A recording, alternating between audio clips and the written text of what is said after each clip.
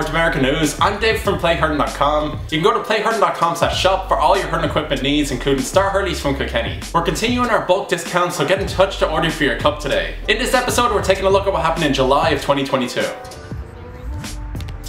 Here are a few updates on new clubs across the USA in July. South Carolina's Columbia Hurling Club had their first match against Augusta GAC in Georgia. Arizona's Hurling Club of Phoenix competed in their first Sevens tournament in Flagstaff. California's LA Hurling Club had their first friendly match against St. Peter's in San Diego. And lastly, Hawaii now has a hurling club a former Liberty Gaels Camogie player is setting up a hurling club on the island of Oahu and is looking for new players. Here's Kolo from Hawaii Hurling Club to share her story. Aloha guys, Kolo here, founder of Hawaii Hurling. I am formerly of the Liberty Gaels, New York, New Jersey. I played for them for about six to seven years and I moved out here and unfortunately there is no hurling until now. So I'm definitely looking for new recruits and I can't wait to see how the sport is going to be loved, played, and uh, really just progressed here.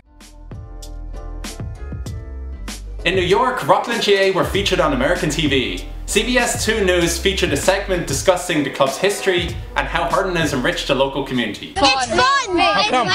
Because it's so fast! For 50 years, children have played here, learning an ancient sport and embracing Irish culture. It's called hurling. Even at this age, they play with spirited speed. In Wisconsin, Madison GA hosted the first ever draft style camogie tournament on July 23rd. Inspired by Montana's draft hurling tournament, their aim is to help grow the sport of camogie in their local area. 35 players from 5 different clubs traveled to participate, including from Milwaukee, St. Louis, Denver and Indianapolis. In Halifax, Nova Scotia, the Eastern Canadian Championships were met with the most Irish style of weather. The championship was hosted by the Halifax Gaels and also included clubs from Quebec City and Montreal.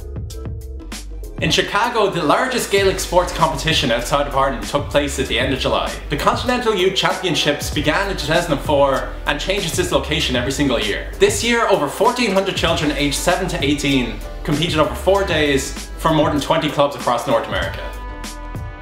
In Philadelphia, the Liberty Bell Championships were held in mid-July for children aged under 7 to under 18. Over a thousand athletes from 90 teams competed in Gaelic football, hurling and camogie. And they even got local news coverage for the event. Glenside Gaelic Club hosted the 2022 Liberty Bell Cup. The festival featured iron-based competitions with Gaelic football and hurling.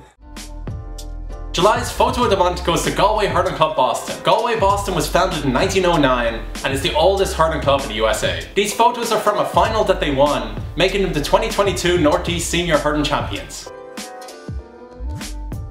July's video of the month goes to the Calgary Chieftains, who recruited some Disney princesses to try camogie for the first time. What you've got to do is you've got to run balance that. You can dance now. Hey! Snow White's got some Irish blood. Your turn? Yes. you can go Carrie if you want to. Go. Woo! Stay for three. One, two, three, go! July's Club of the Month goes to Cleveland GA, who took over our social media accounts in July. Cleveland GA was originally a Gaelic football club, but have recently expanded to include hurling and camogie. During their takeover week, Cleveland GA shared the lead up to their hurling blitz, some player interviews, and their historic camogie win against Pittsburgh. I mean, to me, hurling's you know, one of the best sports in the world. I actually didn't know when I first moved over to America that they played Gaelic football and Gaelic games in general. I thought, okay, moving to America, I'm probably going to have to give this up, you know. It turns out it's probably bigger even. And I started playing and really just kind of fell in love uh, with the sport. It's kind of um, like a field hockey and lacrosse combination. A lot of people working hard for making this happen, so. Definitely one of the, the greatest things I've ever done. So everyone's really rooting for everybody else, so. I think that's pretty unique. Thank you so much to Shannon for leading the takeover. And if you haven't already, make sure to go follow Cleveland GA. I'll leave a link to all their details below. If your US or Canadian club would like to be featured, reach out to us on Instagram or Facebook. And that's it for this episode of in North America News. Thank you so much for watching. And if you need any hurling equipment, go to playhurling.com shop for hurls, helmets, sliotars, and anything else you may need. And I'll see you guys in the next video.